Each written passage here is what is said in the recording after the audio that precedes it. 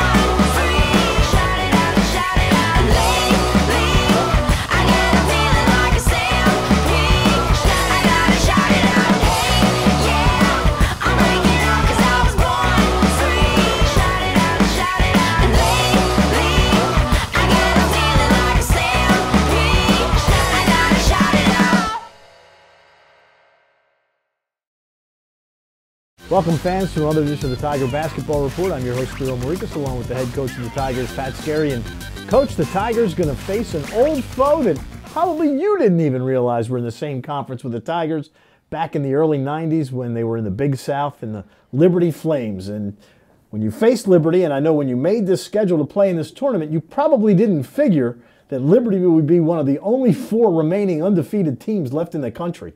Well, they're tremendous. Now we knew they were going to be really good because when we um, agreed to the matchups, they, they had been the NCAA tournament and won a game. So, um, yeah, Ritchie McKay's done an unbelievable job there. There, there are no weaknesses. Uh, I, I, think I was looking. This will be like our sixth game against like a top 60 team in most of the rankings, and uh, they're as good as anyone we faced. Uh, they, you know, including Florida and Xavier. I mean, you know, they're really good. They don't. Their defense is terrific. Um, they play at the slowest tempo in the country, which means you're, you're going to have to play how they want to play. That doesn't mean they can't score. They can. They really shoot threes. They get to the foul line. I like their two guards. Good, good feel, good intelligence. They've got wings that shoot it. And they've got a couple horses inside, uh, James and, and the kid Bell, uh, that that have skill and, and yeah, like I said, they it's, it's a really it's a complete basketball team. That's probably the thing I can say the most. It's a complete team, so it offers a great opportunity for us on you know coming out of exams and playing down in, in DC where our conference tournament will be in you know 70 something days after that. So it's it's it's it's, it's going to be all the teams in it are good. Akron and Tulane are both terrific teams too. So we're going to get two really really good tests before we break and then get in the CAA play.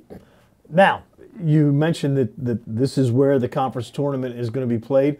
I'm sure that had a lot to go into you deciding to play in this event. That had everything. Um, we've tried to play some neutral games here the last, you know, Vegas, Belfast, um, Atlantic City. Uh, if I'm forgetting anywhere else, but uh, this Bahamas, this, Fort Myers. Uh, those and those those are multiple team exempt terms with these these two game deals, and then this worked out with the conference tournament moving there we thought it was uh, a no-brainer to be able to get on that court in that building a couple times. I was down there.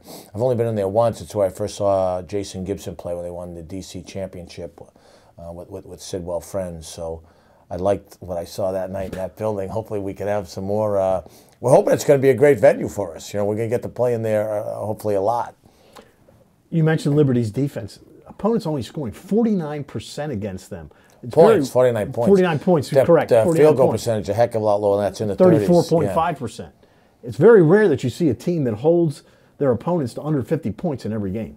Yeah, they, there's there's no weaknesses. Uh, they, they're terrific defensively. You know, Ritchie was with Tony Bennett at UVA, so they're gonna, you know they, they stay in front of you. They force you to take tough shots.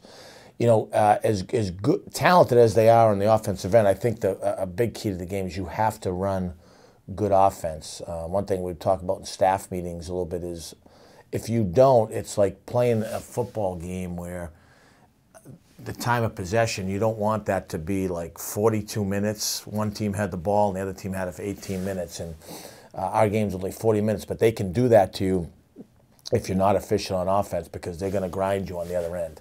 And then you play either Akron or Tulane in game number two. You faced Tulane last year up in Atlantic City but they're a new team this year, basically new coaching staff, and, and they're having more success than they had last. Yeah, I think both those teams are like seven and two, seven and three. I haven't you know gotten into those teams a lot yet. Um, but Ron Hunter's doing a great job at Tulane. They're in a power conference in the American Conference, and Akron's picked right at the top of the Mid American Conference. Um, with, with You already played Kent State, and they beat you in overtime. So you yeah, we know how good that league is. It's, it's a top 12 league. Uh, so, like I said, it's, we, we knew we were going to be tough, playing tough games. Um, you know, once again, I, I've been under the, the belief that those games are going to help us come CAA time, and that, that's, that's almost here. These are our last, uh, last almost couple of tune ups before we, we get going. So Liberty in the first game, which the Tigers used to play in the Big South, and then Ron Hunter possibly in game two, who the Tigers used to face when he was the head coach at Georgia State. Yeah, my first, uh, especially my, my second year, we had, we had a couple good. Uh, I don't know if they were here third year. In the second year we had, that was we had a couple battles. Yeah, we were banned from playing in the conference tournament, uh, which we, we thank the old leadership and the CAA for that. And then um, they, they actually were banned too. We might have the two best teams in the league because he had his son R.J., who was an NBA Right. player.